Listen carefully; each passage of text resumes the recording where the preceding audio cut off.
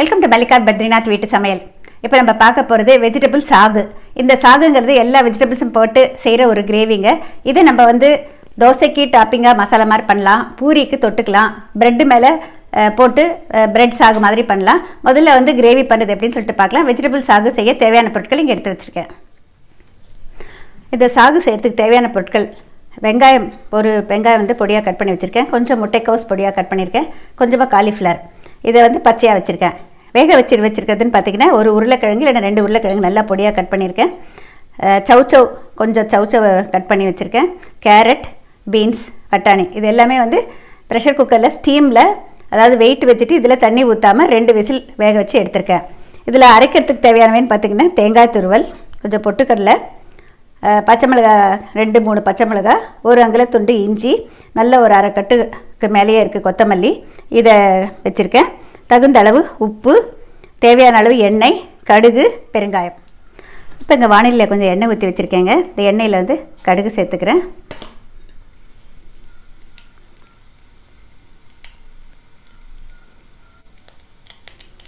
இப்போ கடுகு வெடிக்க ஆரம்பிச்சிச்சு பெருங்காயத்தூள் சேர்த்துக்கிறேன். இதோட வெங்காயம்.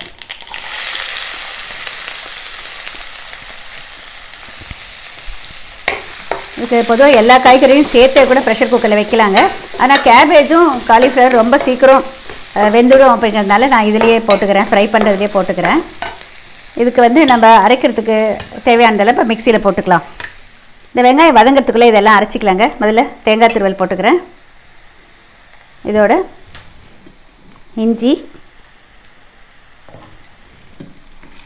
அவங்கவுங்க காரத்துக்கு தகுந்த மாதிரி பச்சை மிளகாய். இதுக்கு நான் கொஞ்சம் வெஜிடபிள்ஸ் நிறைய இருக்கிறதுனால மூணு பச்சை மிளகாய் எடுத்திருக்கேங்க. இதோட உடச்சக்கடலை பொட்டுக்கடலை. இது வந்து கொஞ்சம் கிரேவி திக்காகிறதுக்கு ஹெல்ப்ஃபுல்லாக இருக்கும். கொத்தமல்லி தழை. இது கொத்தமல்லியோட ஃப்ளேவரோடு இருந்தால் தான் ரொம்ப நல்லாயிருக்கும் இது. ஆரோக்கியத்துக்கு ரொம்ப நல்லது. இந்த கிரேவியில் பார்த்தீங்கன்னா கரம் மசாலாவே இல்லை. யார் வேணாலும் வந்து மசாலா சாப்பிடாதவங்க இதை விரும்பி சாப்பிடுவாங்க. இப்போ இதோட தேவையான அளவு தண்ணி ஊற்றி அரைச்சிக்கலாங்க. பூண்டு கூட இல்லை. நீங்கள் வேணால் இல்லை வெஜிடபிள்ஸ் மட்டும் போட்டுட்டு வெங்காயத்தை அவாய்ட் பண்ணிவிட்டு கூட செய்யலாம். இப்போ இதை அரைச்சிக்கலாம். இப்போ இது பாருங்கள் இந்த மாதிரி ஒரு சட்னி மாதிரி ஒரு கன்சிஸ்டன்சிக்கு அரைச்சி எடுத்துக்கலாம். இப்போ இங்கே அரைச்சிட்டேன். இதில் நான் உப்பு சேர்க்கலைங்க. இதில் கடைசி அப்புறமா கிரேவியில் போடுறப்ப சேர்த்துக்கலாம். இப்போ வெங்காயம் பாருங்கள் பாதி வதங்கிய பிறகு நம்ம காலிஃப்ளவரும் முட்டைக்கோசும் சேர்த்துக்கலாம். இந்த ரெண்டும் ரொம்ப சீக்கிரம் ஃப்ரை ஆகிடும் அதோடு சேர்ந்து கிரேவியோட வேகிறப்ப நல்லா சாஃப்ட் ஆகிடும் கொஞ்சம் ஹை ஃப்ளேமில் வச்சுட்டு ஒரு நிமிஷம் ரெண்டு நிமிஷம் வதக்கிக்கலாம். எதுக்காக இந்த மாதிரி பண்ணுறேனாக்க இந்த கேபேஜும் காலிஃப்ளவரும் பார்த்தீங்கன்னா அதில் இருக்கிற வந்து அந்த விட்டமின் சி எல்லாம் வந்து நம்ம வேக வச்சு வடித்தோன்னாக்கா அதெல்லாம் அழிஞ்சிடும். இப்போ இந்த மாதிரிங்கிறப்ப ரொம்ப ஷார்ட் பீரியட் தானே நம்ம ஃப்ரை பண்ணுறோம் அதனால் ஓரளவுக்கு சத்துக்கள் அதில் போகாமல் இருக்கும். சத்துக்களோட நிறைய பேருக்கு வந்து டவுட் வரும். அதாவது பார்த்திங்கன்னா வாட்டர் சாலிபிள் விட்டமின்ஸ் இருக்குது ஃபேட் சாலிபிள் விட்டமின்ஸ் இருக்குது இதெல்லாம் விட்டமின் ஏ எல்லாம் இருக்கிறப்ப வந்து உங்களுக்கு எந்த விதமாகவும் அழியாதுங்க. தண்ணியை மாதிரி ஊ ஊற்றி வேக வச்சு வடிச்சிங்கன்னாக்கா போயிடும். அதுதான் ரொம்ப முக்கியம். இது ஒரு ரெண்டு நிமிஷம் வதங்கட்டும். அதுக்கப்புறம் அரைச்ச விதை சேர்த்துக்கலாம். இப்போ பாருங்கள் வெஜிடபிள்ஸ் நல்லா ஃப்ரை ஆகிடுச்சு இதோட அரைச்ச விதை சேர்த்துக்கலாங்க. தணலை குறைச்சிட்டு அரைச்ச விதை சேர்த்துக்கிறேன்.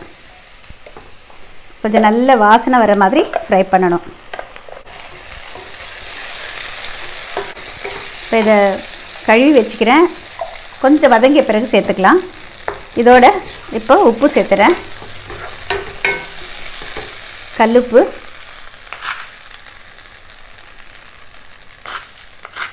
வெஜிடபிள்ஸ் தகுந்த அளவு போட்டுக்கலாம்.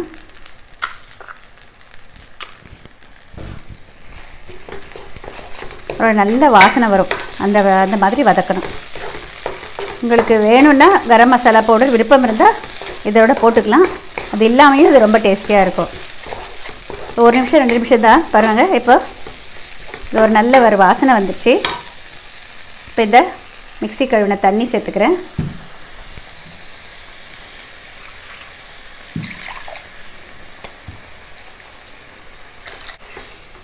இப்போ இந்த வெஜிடபிள்ஸ் எல்லாம் இதில் சேர்த்துட்டு அதில் தேவையான அளவுக்கு நம்ம தண்ணி சேர்த்துக்கலாம்.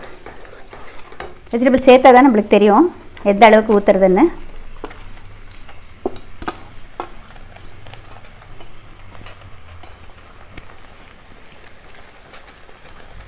வெஜிடபிள்ஸே சாப்பிடாத குழந்தைங்கள கூட நம்ம வந்து சாப்பிட வைக்கலாம் இந்த மாதிரி செய்கிறப்போ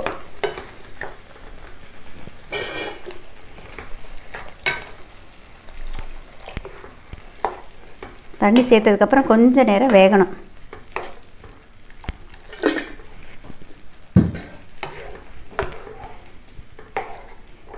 ஒரு two to three minutes boil ஆகட்டும். இப்போ பாருங்கள் இது நல்லா கொதிச்சு நல்லா ஓரளவுக்கு கெட்டிப்பட்டுடுச்சு. இந்த மாதிரி பாருங்கள் திக்னஸ் இருக்குது பாருங்கள் இதை ஆஃப் பண்ணிடலாம். நல்ல ஒரு வாசனை வருது. இந்த ஸ்டேஜில் நம்ம இப்போ இறக்கிடலாம் பரிமாறதுக்கு. இப்போ இதை யூஸ் பண்ணிவிட்டு நம்ம வேறு என்னென்ன பண்ணலாம்னு சொல்லிட்டு நான் மறுபடியும் சொல்கிறேன் இப்போ இந்த கிரேவி வந்து பூரிக்கு தொட்டுக்கலாம். சப்பாத்திக்கு தொட்டுக்கலாம். நம்ம ஏதாவது ரைஸ் வெரைட்டிஸ் இருக்கு இல்லையா? நம்ம புலாவ் அந்த மாதிரி அதுக்கு கூட தொட்டுக்கலாம். நம்ம சாகு பண்ணி வச்சோம் இல்லைங்களா? அந்த சாகுவை யூஸ் பண்ணிவிட்டு எப்படியெல்லாம் பண்ணலாம் அப்படின்னு சொல்லிட்டு நம்ம பார்க்கலாங்க. முதல்ல வந்து சாகுவை வந்து பூரி இல்லைன்னா சப்பாத்திக்கு ஒரு சைட் டிஷ்ஷாக வச்சுக்கலாம். சாகை நம்ம வந்து ஒரு வழக்கரண்டியில் போட்டு அந்த எக்ஸ்ட்ரா அதில் இருக்கிற கிரேவி எல்லாம் கீழே இறங்குற மாதிரி பண்ணிவிட்டு அந்த மேலே இருக்கிற அந்த வெஜிடபிள்ஸை மட்டும் நம்ம அந்த ஒரு கிண்ணத்தில் எடுத்துக்கிட்டு தேவையான அளவு அரிசி மாவு கொஞ்சம் ஒரு டீஸ்பூன் அரிசி மாவு போட்டு கலந்தால் போதும் ஒரு பிரெட் ஸ்லைஸுக்கு இந்த மாதிரி கலந்து வச்சுருக்காங்க. இப்போ பாருங்கள் கையில் வந்து பிரெட் எடுத்துக்கிட்டேன். இந்த தின் ஸ்லைஸ் இதில் பட்டர் எல்லாம் ஒன்றுமே பூச வேண்டியதில்லை. இந்த இதில் மேலே வந்து இதை பூசிக்கலாம்.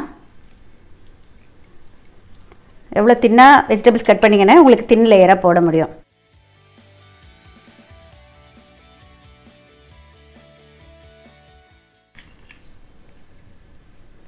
இப்போ இந்த மாதிரி பூசிய பிறகு தோசைக்கல் இங்கே காய வச்சுருக்கேங்க.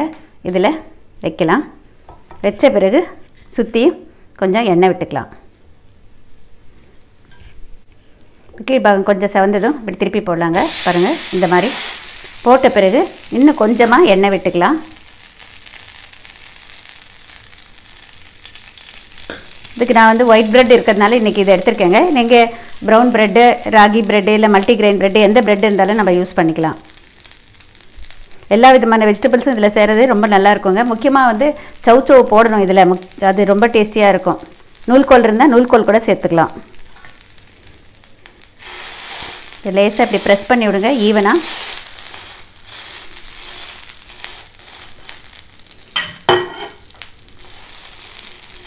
நல்லா கீழ்பாகம் செவக்கணும். அந்த மாதிரி பார்த்து எடுக்கணும். இதுக்கு நம்ம டொமேட்டோ கெச்சப் கொடுத்தா போதுமானதுங்க. அப்படியே சாப்பிட்டாலும் நல்லாயிருக்கும். வேணும்னா கெச்சப் போட்டுக்கலாம். சின்ன சின்னதாக கட் பண்ணிவிட்டு மேலே ஒரு டூத் பிக் சொருகிட்டு ஒரு ஸ்டார்டர் மாதிரி கூட கொடுக்கலாம். வீட்டில் யாராவது வந்தாங்கன்னா கெஸ்ட்டுக்கு திடீர்னு பார்ட்டிக்கு அந்த மாதிரி இருக்கிறப்போ. இப்போ பாருங்கள் இந்த மாதிரி. நல்லா செவக்கணும். இன்னும் கொஞ்சம் கூட செவக்கலாம். நல்லா வேகணும் வெஜிடபிள்ஸ்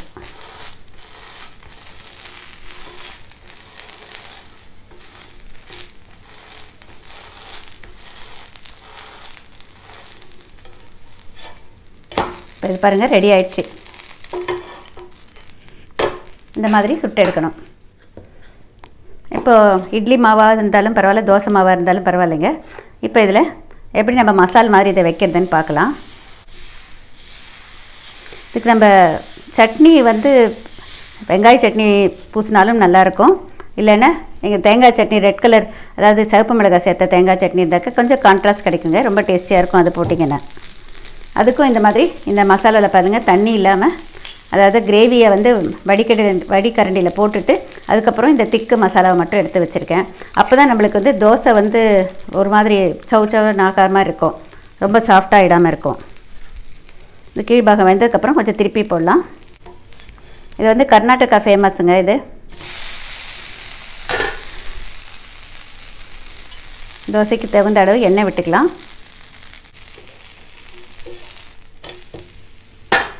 இப்போ இது மேலே சட்னி பூசிக்கிறேன்.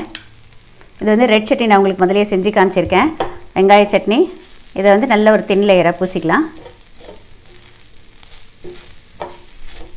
இன்றைக்கி இந்த சட்னி எங்கள் வீட்டில் எப்பவும் இருக்கிறதுனால நான் இதை போசுறேங்க. எங்களுக்கு இது பிடிக்கும் அப்படிங்கிறதுனால நீங்கள் எந்த சட்னி வீட்டில் வச்சுருந்தாலும் அதை போட்டுக்கலாம். இதோட இதை மசாலா மாதிரி வச்சுக்கலாம்.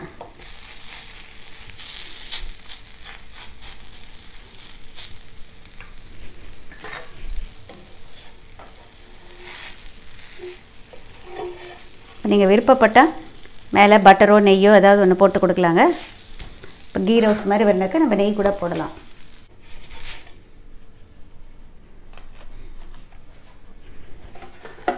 இப்போ இந்த வெஜிடபிள் சாகுவை வச்சுட்டு ஒரு பிரெட் சாண்ட்விச் எப்படி பண்ணுறதுன்னு பார்த்தோம். தோசைக்கு மேலே டாப்பிங் எப்படி போடுறதுன்னு பார்த்தோம். பூரியோடையும் சப்பாத்தியோடையும் இல்லை வேறு எந்த ஆம், அரிசி மாவு சப்பாத்தி எதிலோடையும் கூட நம்ம இட்லிக்கு கூட வந்து தொட்டுக்கிறதுக்கு கொடுக்கலாங்க.